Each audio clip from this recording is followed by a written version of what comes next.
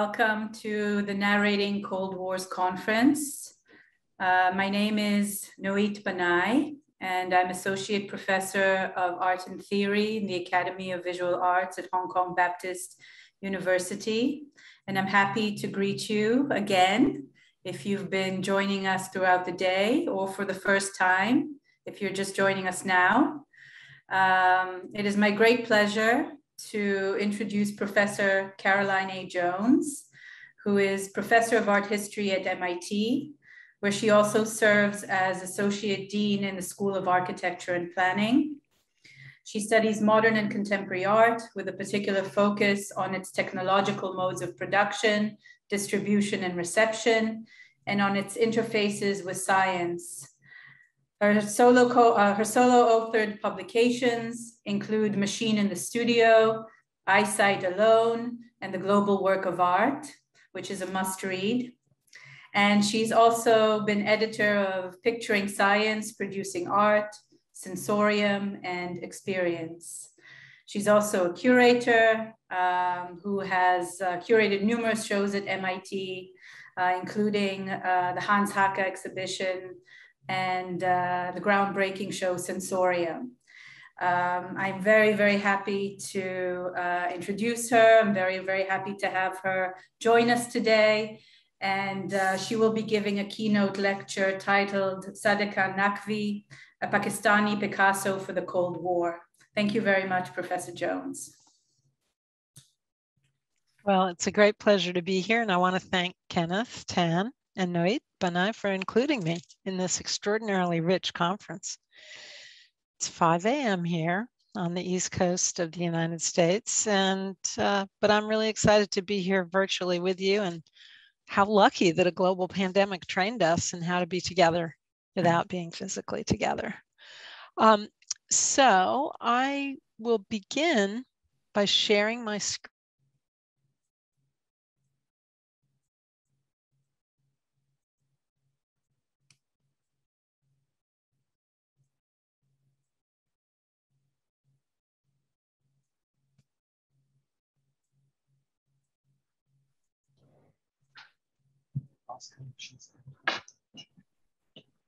Looks like we've lost Caroline. Caroline, I think you've uh, you've you've frozen. Can you hear us? What did she do? Well, hopefully she will be she will reconnect soon. I'm sure this is just a momentary glitch. Um, please bear with us while we sort out uh, while we sort this out. Part of the Zoom experience.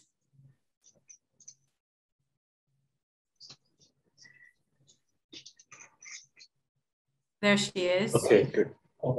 Ah, good. We just need to unmute you, Caroline, uh, Professor Jones. Yeah, it just seems like everything dropped here. Let's try this again. I'm already on the second slide, so is everybody seeing that okay?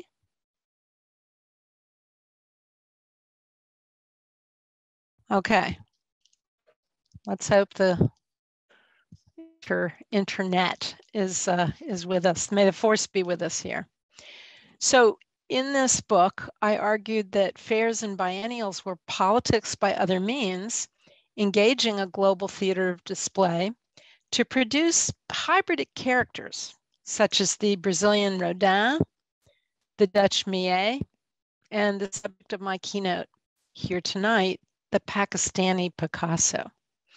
As I will discuss today, I term this adjectival emplacement predicated internationalism, allowing us to explore how such a simple linguistic maneuver can enforce centers and peripheries that are willingly taken up by local agents in order to engage the conversation that power propels. The global is an enduring preoccupation, as my book cover showing a Renaissance celestial orb hoisted at the Parisian 2006 Jour de Patrimoine suggests. But for today, I want to clarify a little Cold War perspective on the global. We need to situate the early decades of the Cold War the setting for my narrative, in a fundamentally 20th century aerial imaginary. This is by World War II already very well established. It enters with the first aerial photographs made by the 19th century balloonists and even from small cameras attached to the legs of trained pigeons. That's a 19th century trick. The aerial as a surveillance mode becomes beautifully codified in the exceptional cartography of Richard Edes Harrison, who already imagines the emerging Cold War in 1944 for the US Army Information Agency as a covetous view by the USSR looking over Eastern Europe. This almost satellite gaze seems to anticipate the 1957 Sputnik or the Telstar vantage point but it is not yet the whole Earth composited by the Western Telstar or later whole Earth scan. So here we're seeing the first scan of the whole Earth from the Dodge satellites. And that acronym stands for the US Department of Defense Gravitational Experiment, put into geostationary orbit in June 1967. Such an aerial surveillance globality was codified in multiple sites not least the Museum of Modern Art in New York, who mounted the explicitly aerial Airways to Peace in the summer of 1943. For the thinkers at this symposium, such, such exhibitions with their enveloping navigable globes pick up from the 19th century World's Fair in becoming subject making uh, subject making machines attempting to produce a global proto Cold War citizenry from the actually provincial population of the US metropole, New York City. More specifically, for the art historians here, it is significant that once the United States finally joined the Allies and entered the deep throes of World War II, the possibility of a new globalism in art became imaginable for the formerly isolationist USA and for its isolated modernists in New York. One we can discern here is um, Adolf Gottlieb. I'm having a little trouble getting my slot. There we go. Adolf Gottlieb uh, with his painting um, on the subject of Persephone, which we'll talk about in a moment. Notably, these guys making what the reviewer calls puzzling new art were not yet enlisted in the Cold War politics to come. As is well known to this audience, those soft diplomatic operations would take up Gottlieb and others in the New York School group to signify democratic freedom in shipments of art sent around the world 15 years later, whether that be for State Department exhibitions, whether requested by West Germans for documenta, or positioned by Midwestern museum types who were organizing showings of US art for the Venice Biennale. As I've argued elsewhere, these are not top down cultural engineering moves by an executive branch of the US government so much as they are a diffuse politics of alignment and voluntary hegemony propelled by educated elites and capitalist industrialists. So, the artist's letter to the editor following that Times article has come to function as a certain sort of manifesto for a national style, what would later be canonized as abstract expressionism. Their position at this early stage was notably nativist and primitivist at its origin, squaring the circle of a dimly perceived West European cosmopolitanism by taking up Parisian surrealist styles and announcing a quote spiritual kinship with primitive and archaic art. In looking briefly at Gottlieb's paintings of Persephone, we can see this proposed positioning in action as Gottlieb adopts loosely surrealist totemisms to smooth over the extraordinary differences between something like Greek mythology and a supposedly authentic US repertoire appropriating Native American forms. So Persephone, goddess of the underworld, nature, renewal, could be taken by a cosmopolitan Jewish artist such as Gottlieb to be a universalist global signifier for the West's shared archaic past. But visually, she is articulated with a syncretic indigenous form vocabulary, mingling West Coast trinket masks, Northwest Sioux deer hide paintings, Southwest Navajo mandalas, and Great Plains bison rituals.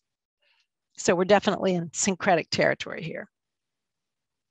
The emerging Cold War globality is thus motley and local. It is everywhere both situated and distinct. The universal always takes its clues from local po politics and problems. And there are specific historical moments that need to be understood when particular positions in Cold War bloc politics become thinkable or hegemonic. Thus, as seen from the very early Cold War perspective in the US in its relation to a country with a vexed US history like Japan, we recall the very different cultural Cold Wars that can be discerned decade to decade. From the militarized propaganda of warfare to the reparative exchanges with a former enemy of the 50s. Obviously, the early 40s are very different from 1952, when a visit from Isamu Noguchi brought some black and white photographs of Franz Kline paintings to the calligraphy magazine Bokubi in Japan, forging a mutual legitimation strategy around meaningless radical calligraphy. If we stay for a moment with this cross Pacific endorsement of a certain radical avant garde uh, in Japan and in the US, the 1960s ushered in yet a different moment in the cultural Cold War. So there's a simultaneous reach for calligraphic modernisms, and I'm, I'm using Iftikhar Dadi's very productive phrase here, in the work of Yoshihara Jiro. Well aware of Jackson Pollock, Yoshihara's circle works nonetheless make a sharp delineation of a specifically Zen iconography uh, that evokes Bu Buddhist conceptions of eternal return, images that are semiotically icon, index, and symbol all at once.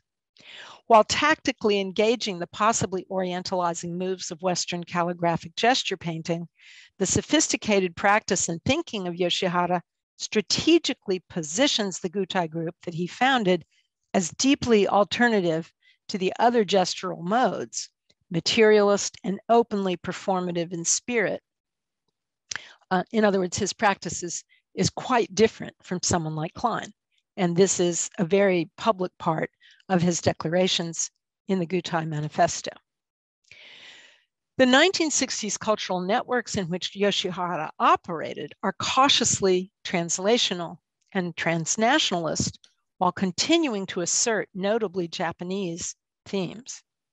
Perhaps then, a brilliant strategist such as Yoshihara can prepare us for the 1960s complexities of a calligraphic modernism coming from another quadrant of the globe altogether, namely the tumultuous troisième mode, monde of the South Asian Indian subcontinent, yielding the new nation of Pakistan and the painter, poet, calligrapher Sadequain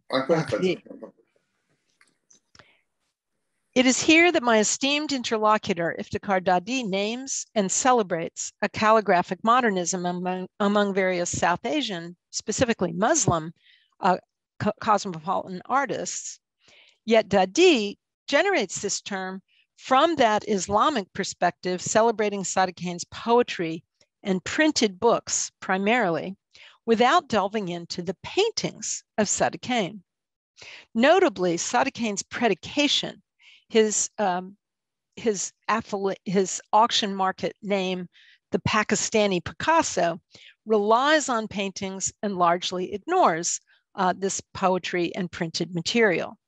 This very dichotomy must be understood within the traditional and translational parameters of the cultural Cold War. So let's see. Part two the Pakistani Picasso. I want to open this section with the best of my archival findings about Sadequain, that his first inscription as the Pakistani Picasso was not owing to the oft-cited Le Monde daily newspaper in Paris, but to a Pétainist and nationalist monthly called Le Monde et la Vie, specifically this issue from April 1964.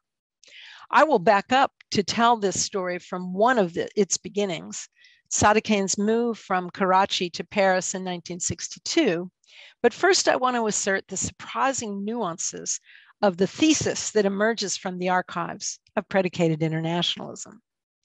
While one might assume that the Pakistani Picasso was produced and enforced solely in the top down violence of a first world hegemony, the case of Syed Sadequain Ahmed Naqvi is usefully complicated in its details. This allows me to propose an explicit thesis for this talk. Artistic agency and acts of viewer appropriation in both center and periphery have roles to play in the predication dynamic, sometimes changing how hegemony operates. Thus, while the first moment of Sadequain's appearance into the European press calls up the association with Picasso explicitly, it is elites and diasporal agents from Pakistani Republic who continue to situate Sadequain, an Urdu speaking artist from a lineage of calligraphers, within the ambit of a Picasso already canonized as a marketable cosmopolitan artist. But from both sides of the exchange, writers on Sadequain also seek to put more and different histories within our reach, searching for the difference that Pakistani might uh, secure um, initially in French. While the predication of Sadequain is somehow Picassoid is nearly constant throughout the available literature and will enter my own formal analysis here, I need to clarify the exclusion that predication still portends.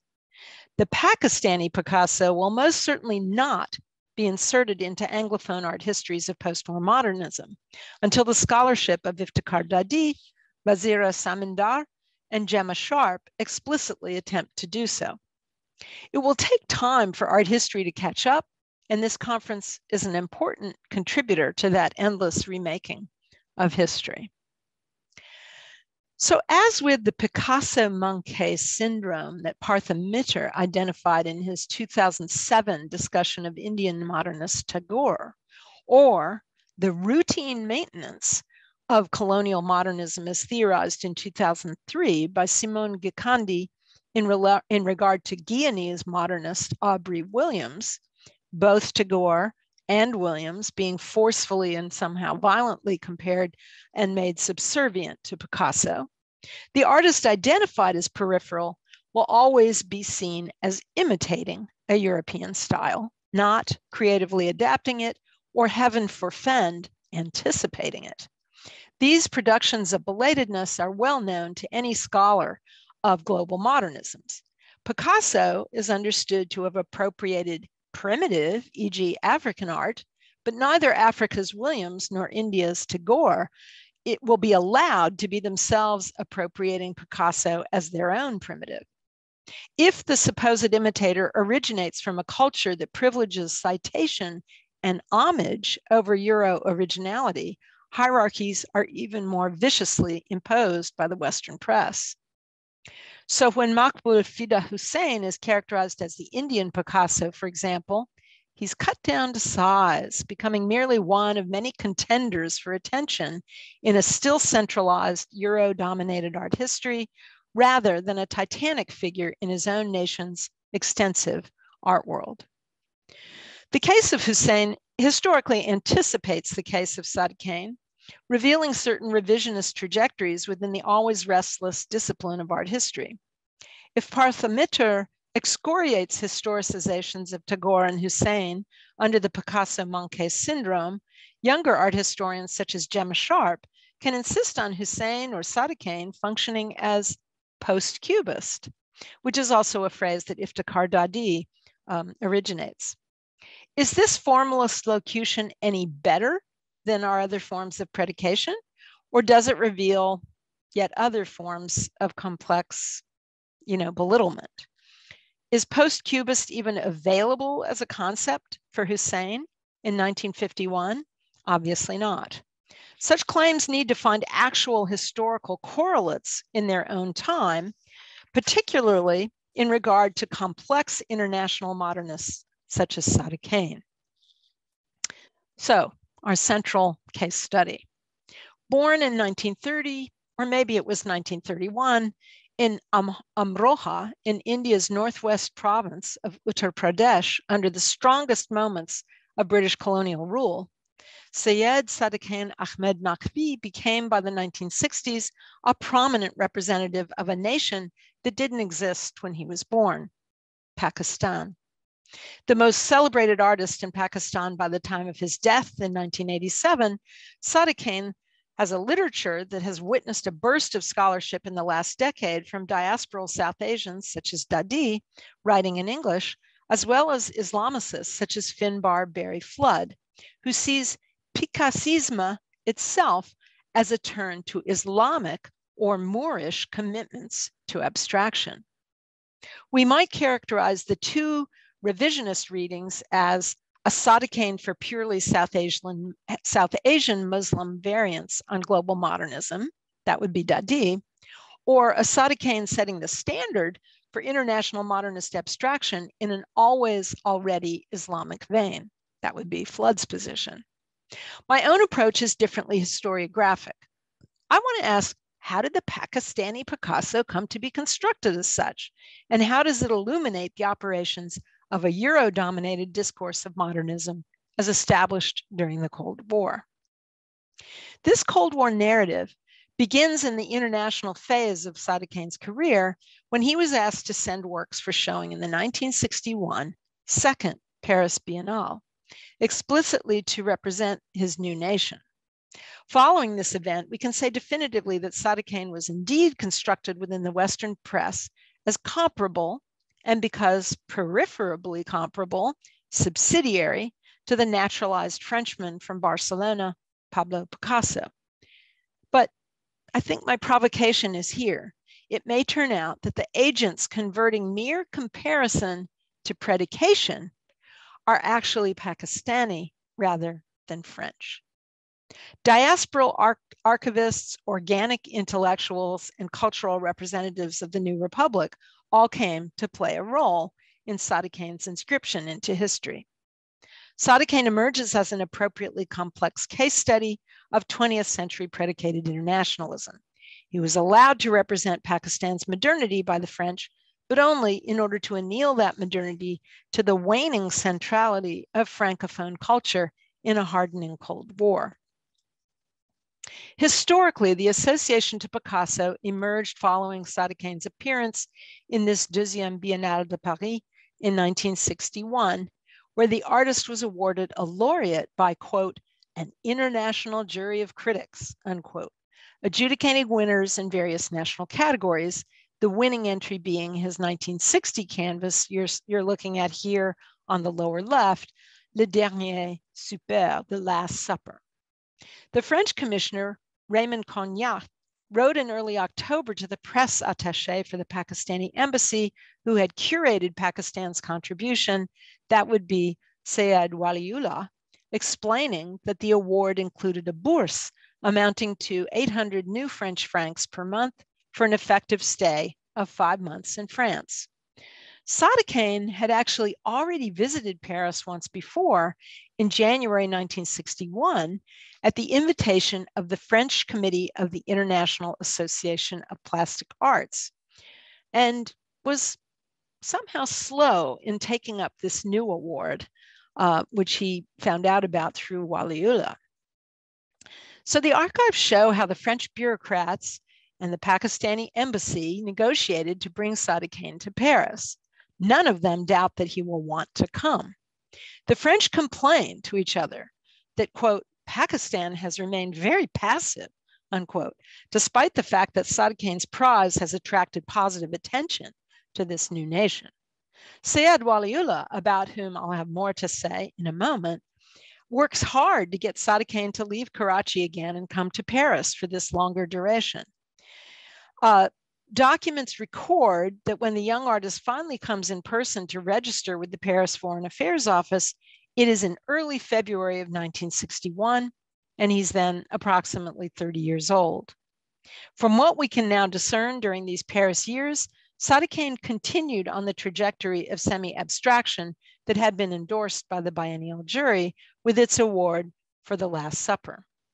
Reproductions that survive in the biennial archives from the immediate immediate gathering point of 1961 and 62, together uh, with this smaller work here in the lower right, show friezes or clusters of spiky vertical forms, interpretable given the title as knees, feet, rib cages, heads, and even a halo in the center where a potentially Christ figure might be discernible.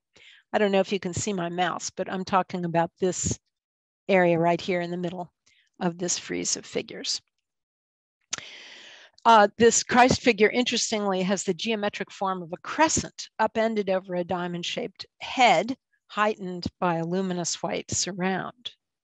The 1962 study associated with the Last Supper work is more chaotic, suggesting the milling crowds of the Passion. The work Trio from that same year, which is still in the collection of Sayed Waliullah's family and visible in photographs of Waliullah in his Paris study during the 60s, is similarly dark and brooding, and even more abstract. As such, it is, it is less declaratively Christological for I would propose not every trio is a trinity. But clearly, these works alluding to a prophet in monotheism could read in Catholic France, significant to the translational Cold War context that Sadequain is anticipating by painting these works and titling them this way in the first place. Sadequain immediately garnered European exhibitions with these works. He was featured in the very first exhibition at the brand new Musée Maison du, du Culture in Le Havre during the summer of 1962. He showed at the Lambert Gallery that October, not the one we know from today, but an art space founded on the Ile Saint Louis by Polish emigres Sofia and Kazimierz Romanowicz. His prize funds were intended to allow him to stay in the city, but also to travel, which he did leaving Paris for London, Tokyo, and the US in December of 1962.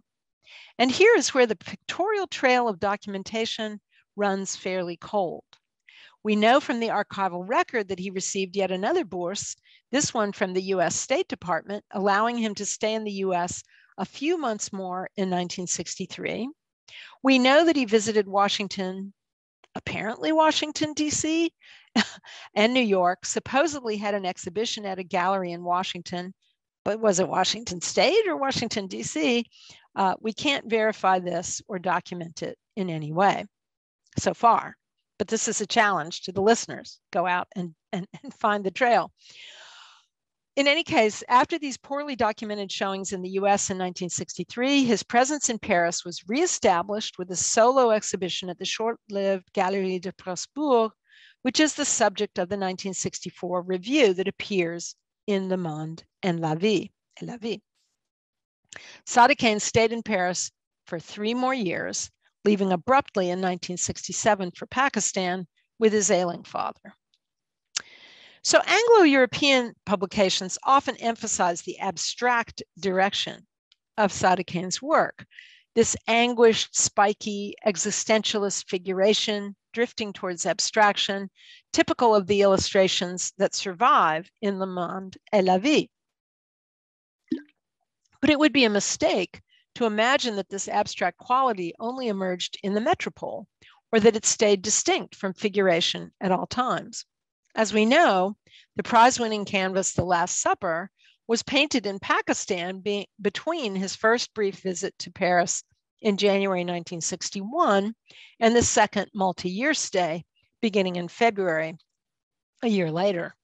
He never stopped producing prolific calligraphy and poetry, later publishing a series of books documenting this consistent work that goes on throughout. While Sadequain knowingly staged paintings and drawings and calligraphy for specific audiences, that does not reduce to a formula of abstract painting for the West, figure, and calligraphy for the rest. These modes are deployed in various places for different purposes and select recipients, filling niches in different art worlds in Europe, South Asia, and among diasporal elites. In fact, the very move of differentiating abstract and figurative art, which I've just indulged in, was a strongly Cold War antinomy.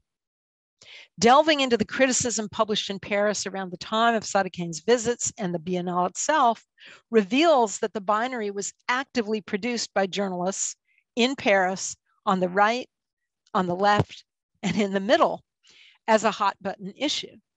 Notably, the contest was positioned as, explicit, as an explicitly Cold War affair by these French journalists covering the very biennale that was exhibiting Sadequain. But I note the binary is primarily sustained by Westerners. Pakistani critics publishing in French contexts merely observed that Sadequain's work had transformed and could be expected to develop further as he engaged with Europe.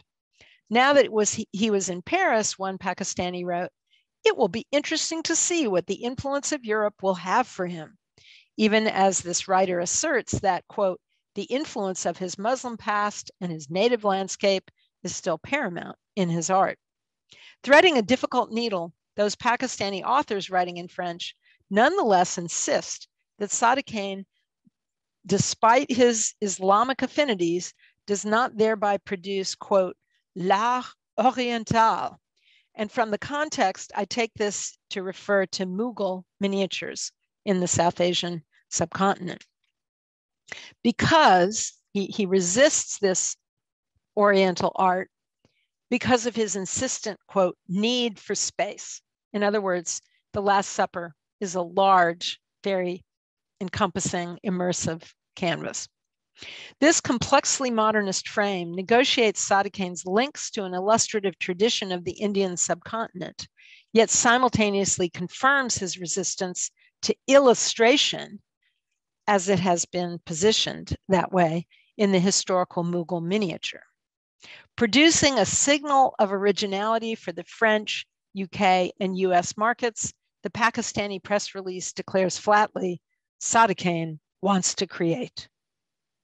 In contrast to this Pakistani navigation of the miniature tradition that must be exploded into space and into creativity in order to escape from pigeonholing as an Oriental artist, Parisian critics situate every one of the artists in the biennial within a figurative abstract context, pitting Eastern Bloc painters such as Nemeth against classic modernists such as Leger, or more feverishly moaning about emerging unnamed Tachists, whom I'm representing here with a work by the Romanian expat Alexandre Istrati. And let me give a disclaimer here. Neither of these paintings is probably in the Paris Biennial, right?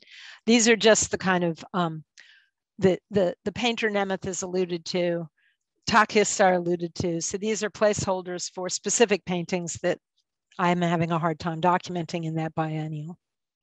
Jean Rollin, specifically, writing in the communist journal L'Humanité, glumly accepts that abstractionists and Tachists have held the dominant position in the biennial exhibition. Rollin complains about the solid boredom that results. Floor after floor, Rollin complains, we have the quote, monotony hanging on the walls devoted to the vulgarity of the stain and the frenzy of action painting. Now, what's interesting is that in, I've translated the French, but what's interesting is that the phrase action painting is given in English and is bolded in the original article. Rollin is explicit on the Cold War context for his remarks, illustrating a work by the Hungarian Nemeth, but the illustration is so bad that I didn't I didn't include it for you here, but it's similarly a single figure of a worker um, silhouetted in the context of that labor. Rollin illustrates the work by Nemeth and notes that socialist countries free of market speculation enjoy a vast public and thereby pursue art with an intelligible character, producing a healthy context unfavorable to the development of anti figuration. Okay, so abstraction is not a positive virtue, it is anti figuration. Sadly for us, Rollin doesn't mention Sadequain specifically, but he does praise Pakistan for, quote, resisting the contagion of the abstract, end quote. The Indian critic Pushpa is cited, describing the, quote, ardent experimenters in modern Indian art who nonetheless conserve the source of their inspiration in India's traditions. e.g., the Mughal miniatures that are figurative um, in their nature. It's important for our Cold War context that this dyad between figurative and abstract is, in the communist journal L'Humanité, staged as the mirror opposite of the cultural message being pumped out by the US at the time. If the US was proposing that the West's unfettered capitalist freedom allowed the individualism of gesture painting and action painting to thrive, the European left positioned this very permission as a negative constraint, as I've mentioned, anti figuration, which we can surmise connotes an active suppression of the laboring body of the proletariat. That Sadequain was spared this criticism is a bit perplexing. It's hard to see how Rollin could find the Last Supper or related studies like this one as resisting abstract contagion Yet, similarly to Rollin, the more politically moderate Parisian critic Claude Roger Marx also savages the biennial's possession by abstraction. Quote, constructivism, tachism, sculptural painting, scrap metal are rampant throughout this universe. And like myxomatosis, a South American virus lethal to European brush rabbits, ruthlessly ravages all the hutches of painters and sculptors. Well, I don't know if you can follow all that, but basically, this contagion of abstraction is also discussed by a moderate critic who likens it to an invasion of a, a foreign virus from Latin America. I don't, you know, there are Latin Americans in Paris, but there's just an, a vague association here uh, from the from the more moderate critic. Roger Marx hints, as Rollin does, at an Orientalist inoculation against such diseases. The only artists who can resist the contagion, for example, the contagion from abstraction, come from certain countries in the East. For Roger Marx says, for whom, by tradition, painting and calligraphy are sisters. All right, so somehow calligraphy is part of the inoculation against abstraction. I mean, this is very interesting. Is it inoculatory because it might have semiotic significance? Well, that's not really happening in the calligraphic modernism of the moment, in any case. As if in response to this discourse of disease and contagion, Sadequain shows works in London the following year that seem a bit less impenetrable in their forms, if still, by my eyes, tending to be abstract. While always difficult to pinpoint exactly what works were in these exhibitions Sadequain staged during his travels, it's plausible that what I'm showing here might have been something like what the New York Herald Tribune critic Sheldon Williams praised from Sadequain's 1963 London exhibition. Quote, Sadequain is represented with one of his typical friezes. These have a metallic look, despite their being in the main based on human figures and lines of trees. These black intaglios are set against murky blue and green cuprous backgrounds to create a brooding sense of the stirring forest. Seen in isolation, these canvases have power. Sadequain is thus successfully threading the divide between figuration and abstraction that's been produced in this criticism for these Western critics who describes suggestions of figures and trees that are never literalized. Yet none of this insightful and largely sympathetic early criticism makes any comparisons to Picasso. That comes, remember, a year later in the French language essay appearing in April 1964 in the Pétainist rag Le Monde et la Vie. It is here in pages referring to Sadequain's 1963 exhibition in Paris at the Galerie de Prébourg, that the fateful comparison is made. The article appears in the spring 1964 edition with no byline. We don't know who wrote it, and that's unique in the issue. Every other article has a byline. And it's in the end pages of this deeply Catholic, right wing, nationalist, Pétain obsessed journal. As comparisons go, the author's text is both generous and mild, avoiding the violence of compression into the phrase Pakistani Picasso. Instead, the author writes The constant research into invention plays with technical difficulties, and the multiplicity of gifts is reminiscent of Picasso. The French language utilizes a delicate double negative for reminiscent. Ne passons rappeler Picasso. The name is invoked almost reluctantly. We find ourselves thinking of Sadequain's gifts and technical achievements, but realize that we cannot do so without recalling Picasso. Such a locution is almost apologetic, and it is also deliciously ambiguous. Is this problem Sadequain's, or is it ours? Sadly, this clue to predication's path is frustratingly anonymous. As I say, unusual within the journal as a whole, whose substantive essays all bear author names. Another gap concerns the intentions of hands on editor Romain Roussel. Did he solicit the essay? Or did he merely accept it as offered by an anon- anonymous figure we can no longer identify in the Parisian art world of the time? The cover layout reveals the nationalist obsessions with Freemasonry. Is it pious or wicked? Um, and Pétain, how he saved the gold of the Bank of France and we held on to Guadeloupe and Martinique. But this only sharpens the Cold War puzzle. Why would the editors be interested in this Pakistani painter who is neither Catholic nor an explicit colonial subject of France?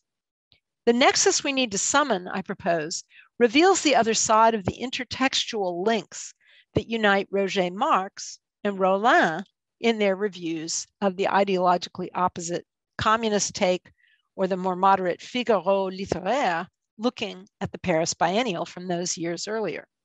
Focusing on Rollin's binary between copycat abstractionists and authentic figurative painters, we can see how Cold War politics the bloc politics of the time, transmuted the national identity of an artist into a powerful signifier of soft politics in a divided globe.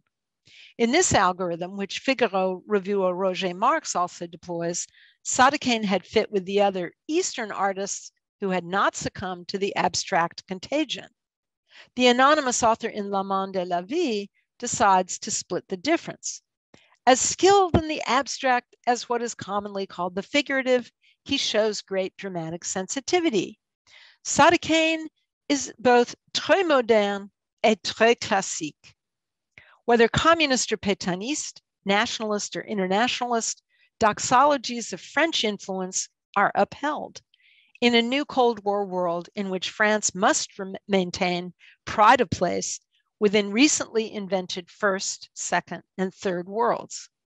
In this context, the ghost of Pétain within the reign of de Gaulle, then president from 1959 to 69, haunts conservative journalism as protector of a greater France whose colonies heroically survived the trauma of a Second World War. The commonality, thus, is that both left and right hope to retain France's role as adjudicators of foreign artist status in a modernism that is epistemologically, securely French. Time for a handy chart. Whether left or right, figurative or abstract, modern or classical, or all of the above, Sadequain will be assuming his position as predicated, located as an aspiring outsider in the still strong site of arbitration for modern art Paris. And the first predication of Sadequain in Le Monde de la Vie reinforces this, pointing out the salience of this artist as representative of an entirely new nation, Pakistan. This Pakistan, Sadequain's adopted country, but not the one of his birth, was of course a post partition state, which by the mid 1960s had confirmed its political independence from India. Notably, Pakistan would further distinguish itself from India, which by 1971 at least had affiliated openly with the Soviet Union. Pakistan contrapuntally cozied up to the US and its former allies. While never a French colony, Pakistan could nonetheless be figured within a French nationalist project of celebrating others as other. As long as those others could still be placed within the compass of a patronage system both financially and epistemically linked to France. Buttressed by the French state's own campaign of support for foreign artists, extended, as we've seen, by funding from the US State Department, Sadequain could be configured as a loyal subject of, you know, indebted to France in both stylistic and financial terms. Coming to Paris, or for that matter, Tokyo or London, via the Metropolitan Cynosure of Paris, thereby celebrating France's beleaguered status as the center whose periphery must continue to be endorsed. And obviously, in the background is something like Serge Guilbaut's argument about how, how New York stole uh, the idea of modern art from Serge's home, natal, natal state. So let me be clear. The comparison to Picasso is not unwarranted, right? Particularly when Sadequain is in his 20s and still in Pakistan. He's very much looking um, at all the art magazines he can get his hands on, right? But when it appears in the Parisian context of Le Monde et la Vie, it nests itself within a system celebrating the world's newest nationals as subject, always already subject, to criteria controlled by the center that magnanimously welcomes them, right, to that center. Within this context, the phrase is genuine as the anonymous author celebrates Sadequain's new European palette and his dark existential mood. Quote, in each of his paintings, we find a deep sense of the organization of space with a rhythm of haunting forms halfway between dream and reality. Subtle colors are handled with great modesty, knowledgeable shading, and skillful modulation of bronzes and acid yellows. This evokes that London review from a year earlier. Sadequain in this review is precocious, and the, and the reviewer surmises that we will continue to speak of this artist, not least because he has just been announced as the illustrator for a luxury edition of the Camus existential novel L'étranger, commissioned by a society of French bibliophiles. This, in fact, would be published in 1966 after Sadequain had left Paris, never to return. The context I've conjured thus far is French, nationalist, conservative, or left. But what if this wide ranging review in Le Monde et la Vie itself turned out to have been written by a fellow Pakistani? Consider, for example, my speculation that the author was none other than Sayed Waliullah. True, the text parallels the 1961 Pakistani publication on Sadequain by art critic Yunus Said. But in the end, that implies only that the Mondevi author had read Yunus's early essay commissioned by Karachi publishers. Waliullah would of course have, have had access to such a publication. A gifted and established writer, he was right there in Paris, already friends with Sadequain, having published an early review of Sadequain for Dawn the flagship English language newspaper in Pakistan, as early as 1956. Bengali Muslim, modernist painter himself, novelist. Waliullah was serving the Pakistani embassy as press attache during this period, taking on the role of curator for the Pakistani contribution to the biennial. So obviously, it's Waliullah who decides to put Sadequain in that show.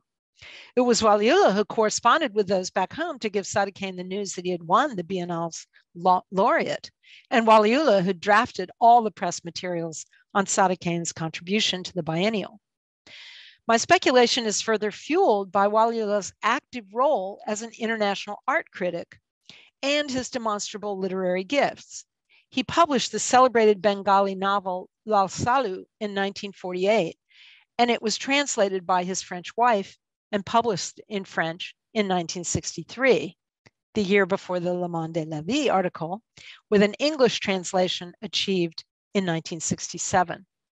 Further evidence that the Monde Vie author might be Waliullah is that the text has a fulsome and knowledgeable rehearsal of Sadequain's career in Pakistan, knowledge that indicates information directly from the artist or someone close to him. The Waliullah family, who still live in Paris, confirmed the long friendship in the 60s between Waliullah and Sadequain, probably dating back to the time when each of them worked at Radio Pakistan in Karachi in the late 40s and early 50s.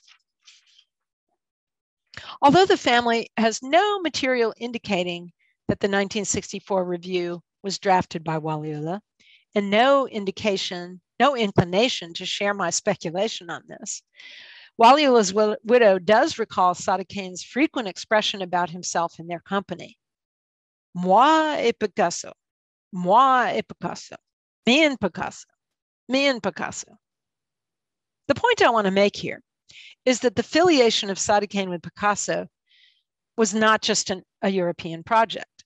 The new leaders of Pakistan had a big stake in celebrating an artist circulating abroad who had been lauded with international awards. The pressure to translate via comparatives between Pakistan and the world would be immense. And indeed, one can feel these pressures already in Waliullah's 1956 appraisal of Sadequain written years before either of them was living in Paris. Written in Karachi in that first decade of Pakistan's independence, Waliullah was writing about Sadequain as the great hope of the nation. Self taught, quote, unlabeled and unjudged, quote, in an artistically dormant culture like ours, an, an artistically dominant, uh, dormant country like ours, unquote.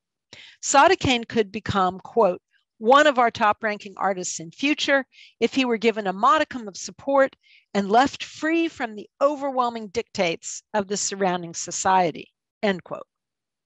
Claiming such autonomy for Sadequain is itself a global modernist move. Yet Waliullah is unimpressed by Sadequain's French-oriented productions to date. One that he mentions by name has the Picassoid title toilette, perhaps suggesting something like the later three graces that I'm showing you here.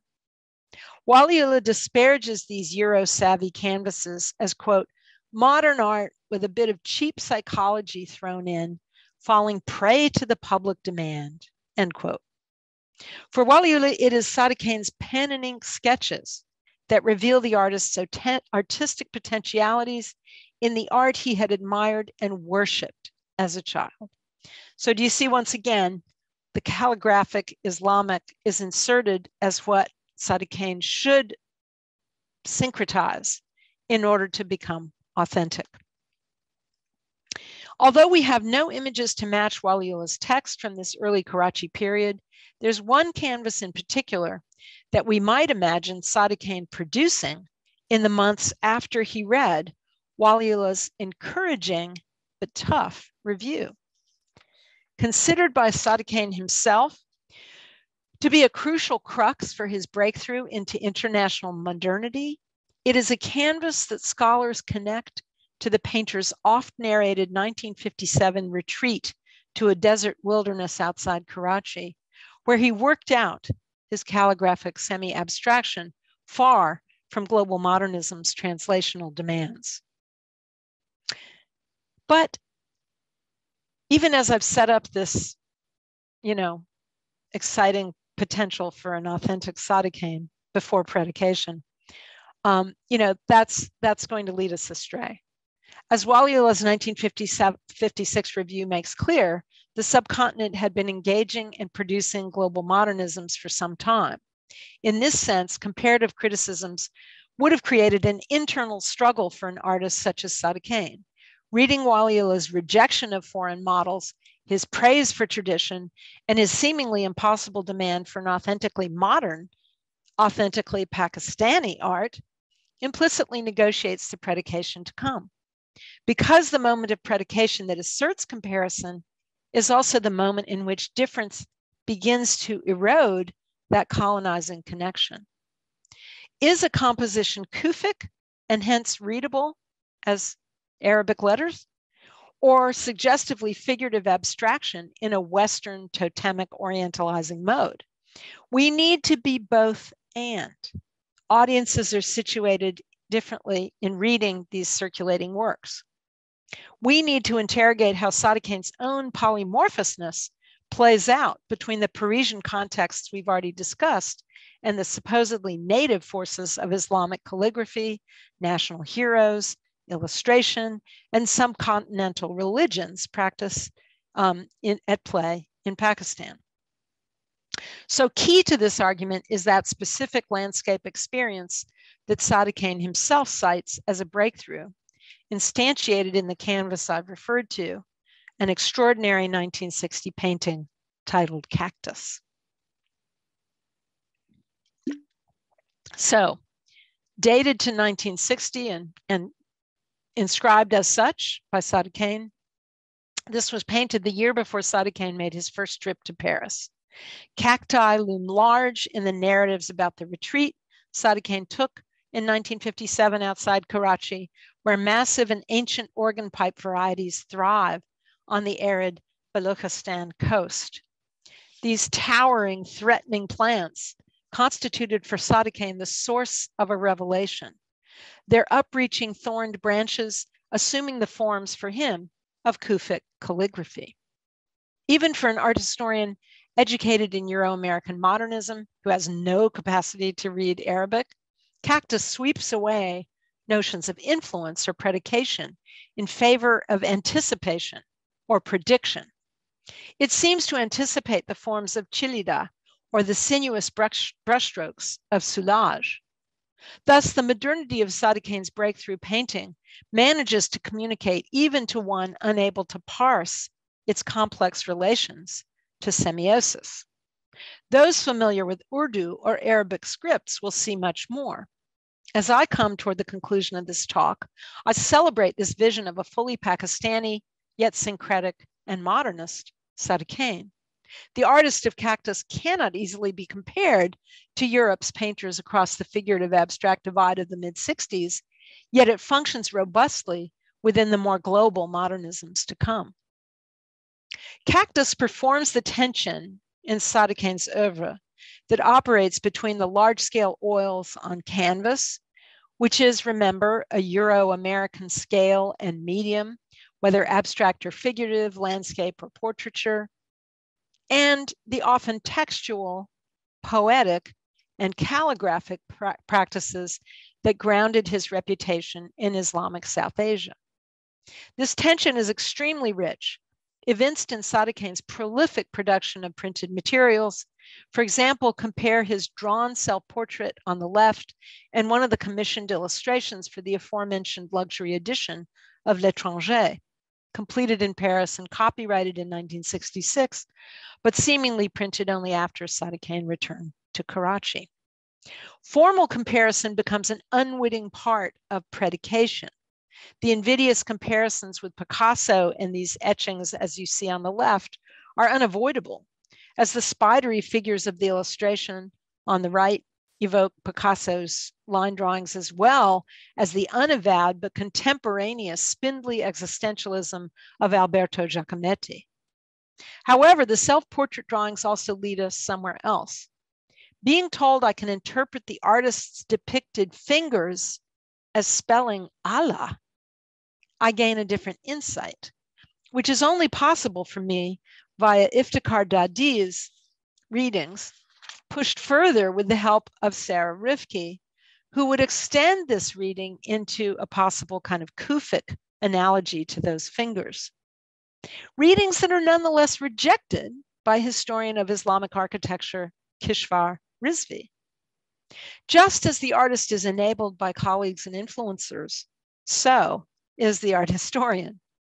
And if we are to puncture the strictures of national boundaries and languages to engage the messy ways that art makes meaning in the Cold War, we need to do this collaborative work. Sadi courted complexity already in his own lifetime and was indeed conscious of the example of Picasso that Dadi tames by calling Sadi modernism pulverized and post-cubist. As we learned from the memories of Waliullah's family from the 1960s, Sadequain was somewhat obsessed with the example of the world's most powerful communist pacifist artist in the Cold War. The artist was still obsessed in the year before he died, 1986, as Sadequain made this drawing of himself before Picasso, which summons the competing artist as a young immigrant with that penetrating Catalan stare from Yo Picasso. Iftikhar Dadi captures the ambition here, writing, who would be more appropriate to assume the role of the dialogic partner than the master of modernism, Picasso himself? The naturalized Frenchman was indeed the man to beat. On the other side of the Atlantic, the archaic myth makers of the New York school were equally drawn to the bestial imaginary of the still surrealist Picasso. There's no explicit Cold War significance in this affinity, but there is the effort to resist predication on the part of these provincial artists in New York, no less than Karachi, through sheer ambition to surpass the top dog. So, Predication was inevitable for the young Sadequain, coming to Paris to take up his bourse from the French state as part of that nation's Biennale de la Jeunesse, which was itself a Cold War bid for France to remain the center of contemporary modern art. Like the 1867 World's Fair, whose plan I'm showing you here, the orders of such world picturing gambits would always be organized via divisions by the powers, as we're seeing here at the bottom of the plan.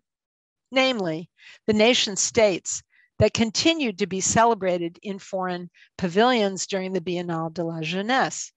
Sadequain's award, one of six explicitly set aside for foreign artists, would allow the reminiscence of Picasso to be floated as a signifier interpolating this South Asian modernist navigating calligraphy, figuration, and abstraction into the European fold.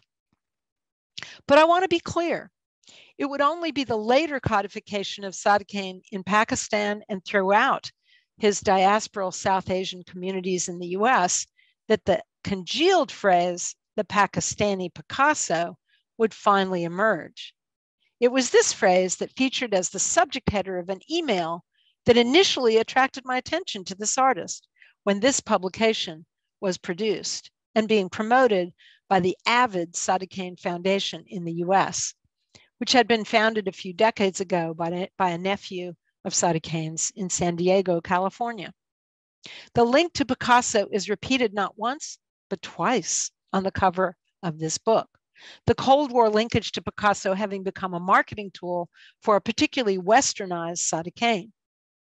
But if the wise men from the East can cement this Islamic painter into a still broadly Christological universalism, we still need to understand how that coexists with Pakistani allegiances, such as the painter's friendship with Aziz Ahmad, to whom the painting Wise Men is floridly inscribed.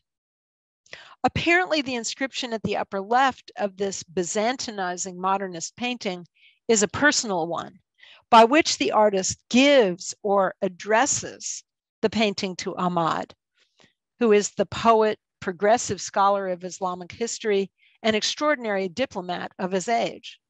Sadequain's inscription also conveys to Ahmad the power to do with the painting what he will. Soon after Sadequain's painting was so dedicated, Ahmad himself would publish the English edition of his Islamic modernism with Oxford University Press in London in 1967, going on to serve as Pakistan's ambassador to the United States and then foreign secretary under President Ayub Khan. The painting, it seems, was left behind and seems to be in the possession of Sadequain's eponymous foundation. So, Cactus then is a one off as far as we know. I've privileged this 1960 canvas as a pre-predicated but nonetheless syncretic work of what we could agree to call Pakistani modernism. Recall that Cactus was painted after that revelatory desert retreat. It was there that Sadequain, from a family long associated with Quranic calligraphy, saw the source of sacred Kufic calligraphy in the twisted but somehow organized geometry of an organ pipe cactus.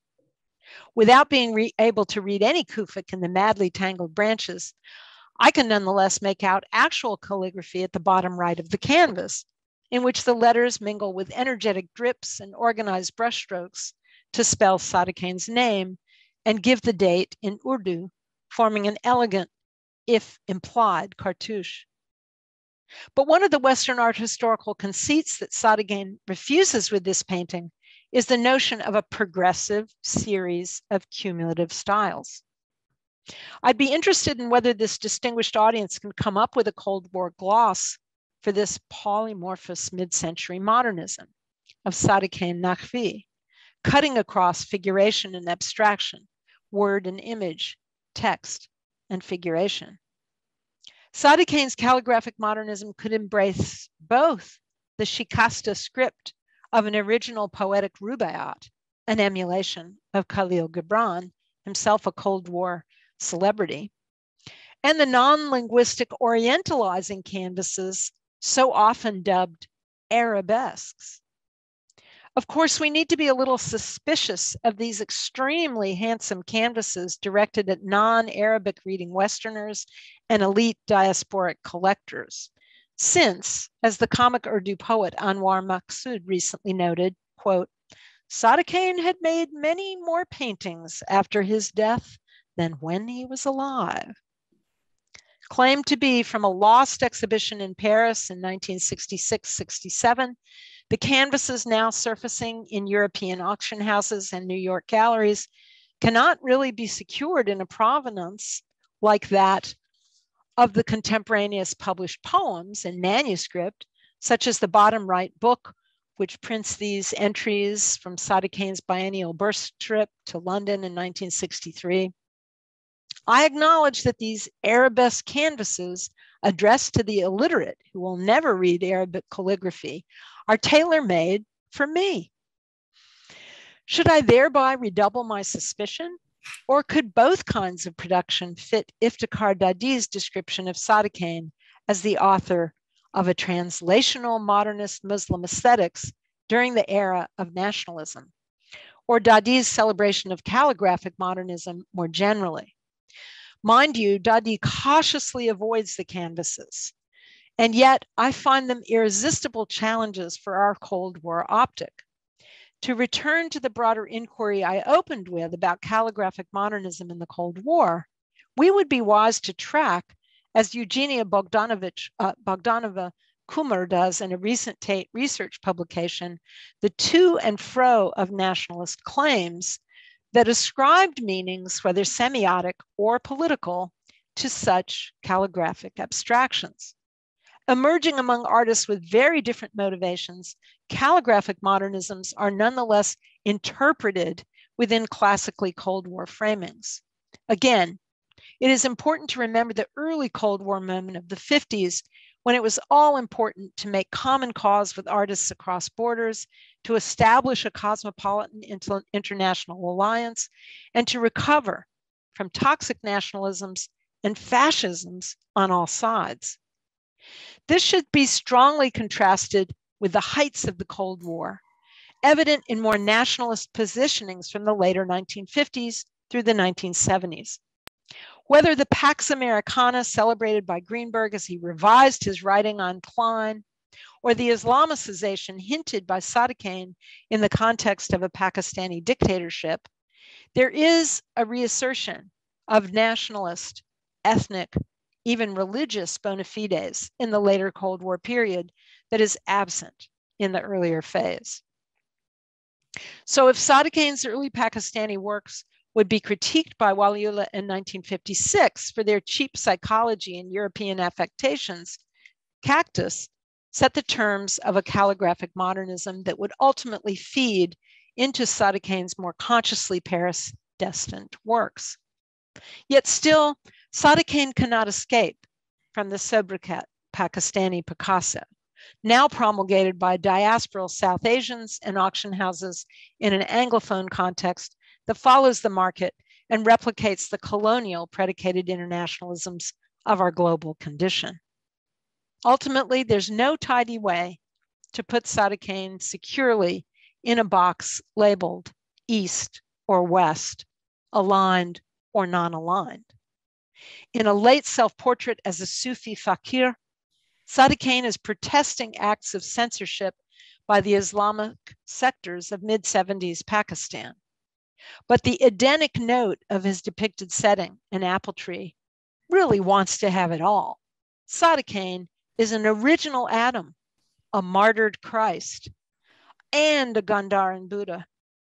Resolutely syncretic, but also polymorphous and perverse, Sadequain's art conjures a transnational and translational figure willing to put up with predicated internationalism if it secures him a place in the global conversation, occupying an imagined and asserted universalism, which is where he wants to be. Thank you.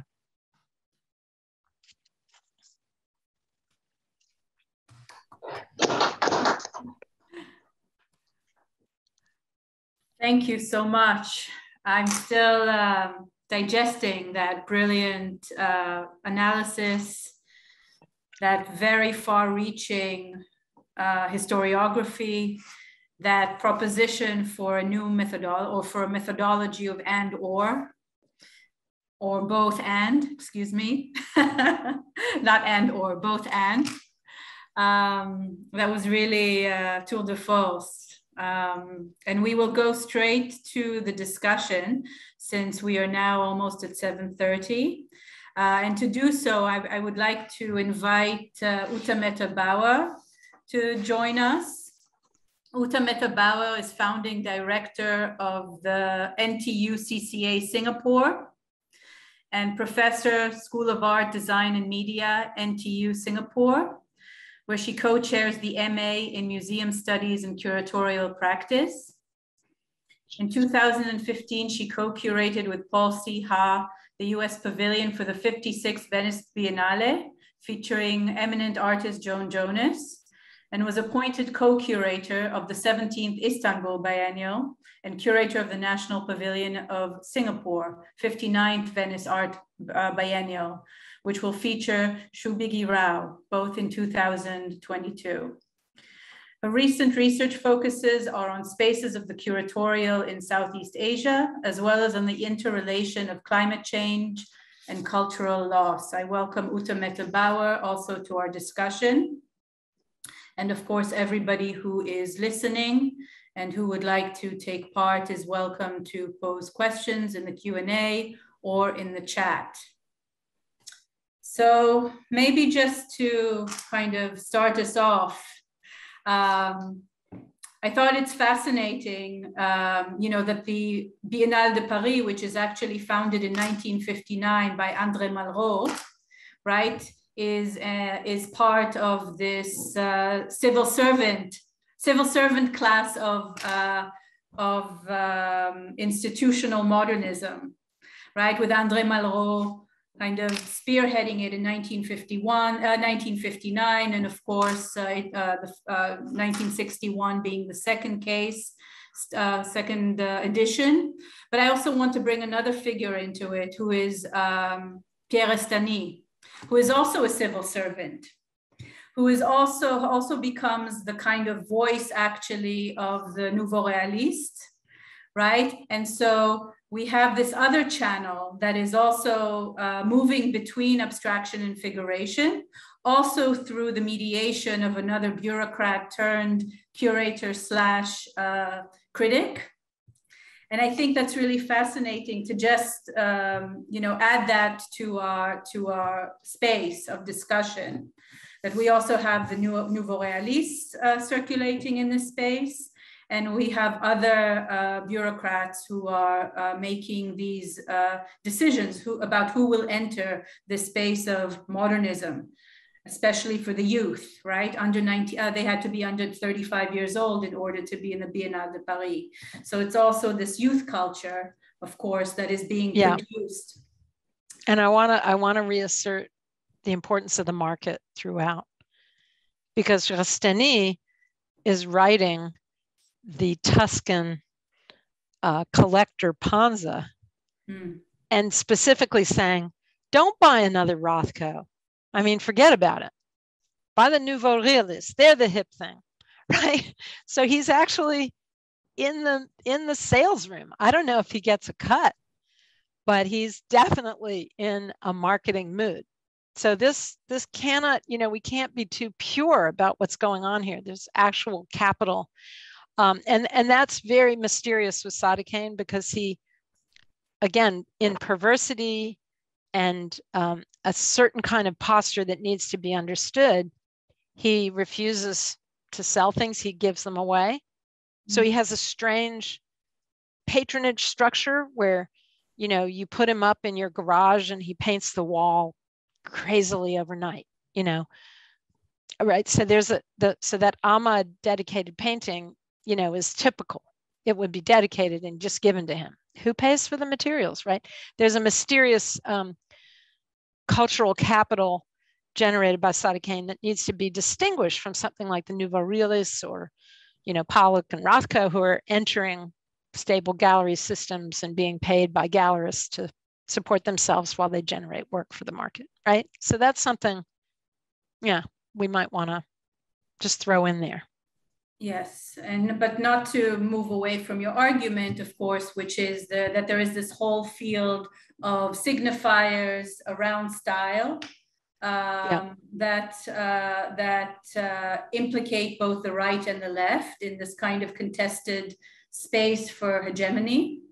Uh, and that it's around figuration and abstraction uh, where he comes in, Sadequain comes in as this other, as this cipher that is, uh, that circulates between them both. Uh, which I think is, is, would you say that he is an exceptional case? in this in in this situation or are there others like him oh man i mean which aspect could be exceptional he's clearly a pretty unique character mm-hmm. but i i would turn to the audience and see if others can speak to his exceptionalism you know um, i mean these postures of the fakir these postures of the you know the crazy uncle whom everybody adores but nobody can put up with for more than two weeks. You know what I mean? It's like he's he's a he's performing and inhabiting a character and i'm not com- i'm not culturally competent to situate that it probably according to dadi and others that i've read it probably has more to do with the inspired poet in um, urdu right and you know the dastangoi who will tell a story for six hours right it probably has more to do with a literary tradition that is somehow transposed. And yeah, that, that might be common across Cold War. You know, you, you might find a um, artists modeling themselves on Camus or Sartre, right, in certain circuits. So that may not be unique. So I'm not I'm not sure I'm capable of saying mm-hmm. What okay. is unique here.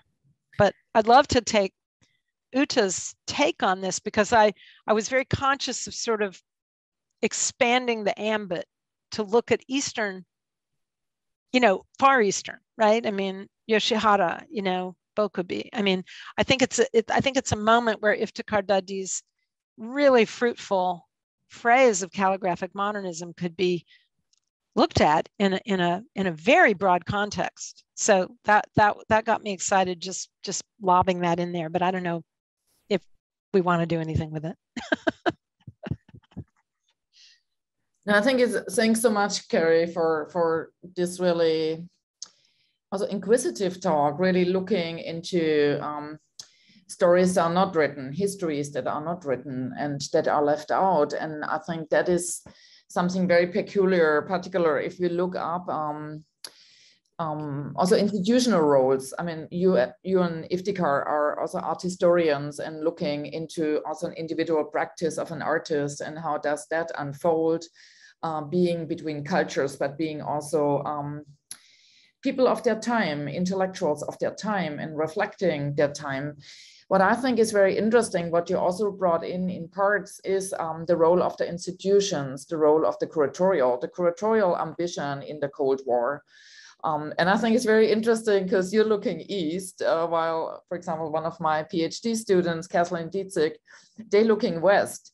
So they're looking the role of um, MoMA, I mean, which you know, sure, well. I mean, um, Bateson and and others like um, to conquer kind of like Southeast Asia as um, I would say as a geopolitical kind of like strategic step. And this is where it's very interesting to link what you say also to Naeem's um, uh, film and, and uh, his, his installation and the depicting as an artist of this period through a filmic kind of representation and uh, also living between the cultures and like his father living between cultures and histories.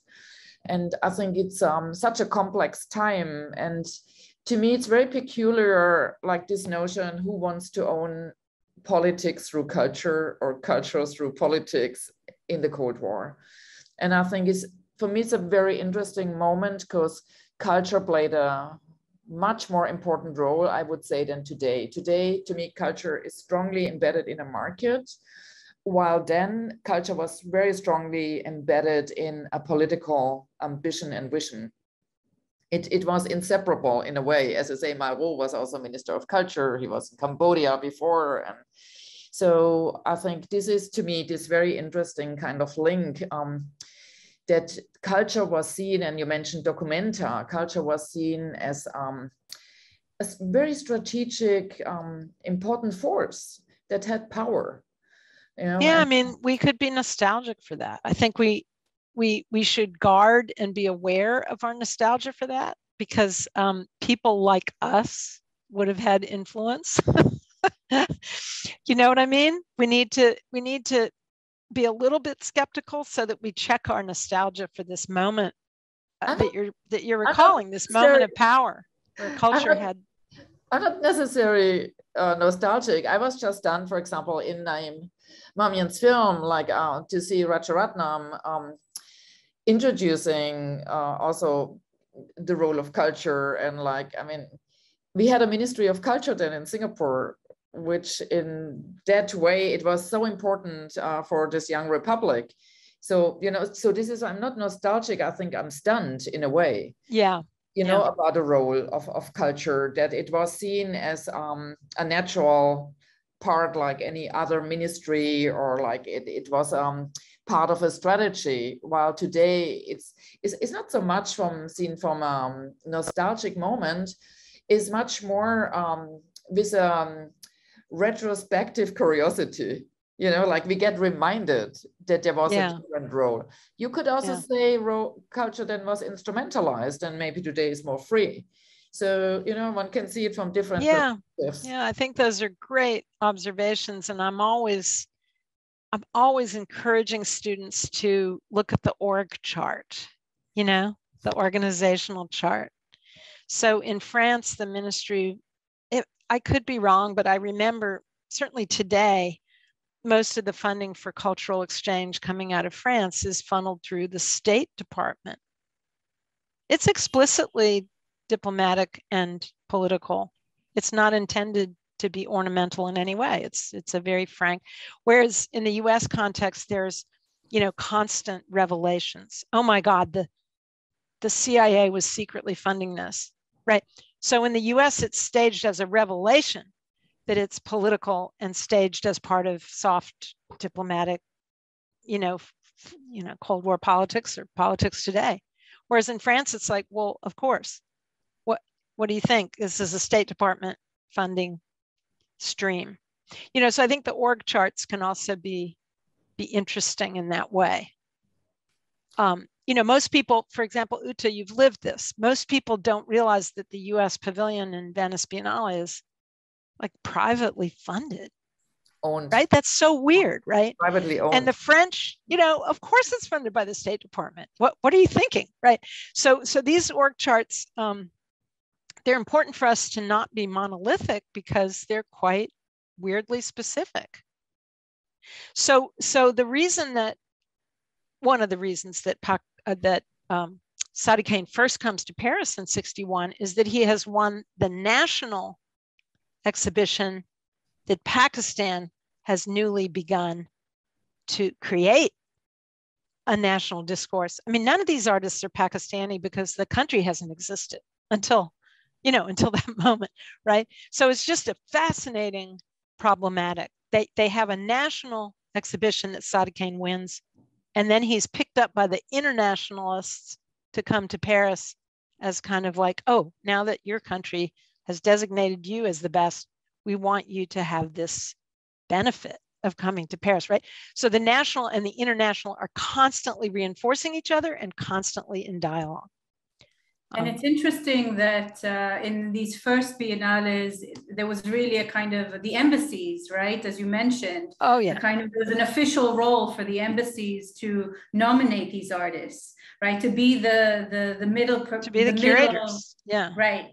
And I'm just thinking of that because the same problematic brings us to the Magiciens de la Terre of 1989. Mm. So I'm fast forwarding to basically the future of this discussion, where you also have Jean-Hubert Martin defending himself for the way in which he chose his artists, right? Who he sent to the field to be his, uh, you know, his proxies.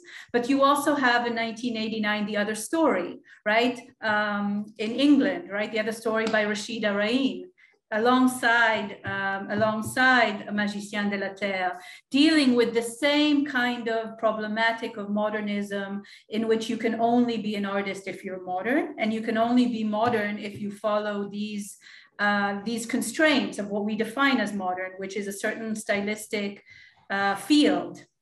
So I'm fascinated by your choice of this artist who is really like a third term, so to speak, and that he brings both and, that he cannot be reduced to either one of these um, uh, uh, binary positions but that that same problematic is, you know, reemerges in 89, precisely at the so-called, let's say, end of a certain historiography.